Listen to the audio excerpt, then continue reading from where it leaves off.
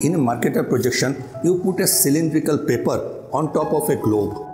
The globe sits straight. Only the equatorial parts are touching the globe. Now, universal transverse Mercator, we do the same thing but a little differently. We turn the cylinder 90 degree and we put the globe in. And by doing that, you will see now the globe is being touched from pole to pole, not the equatorial region, right?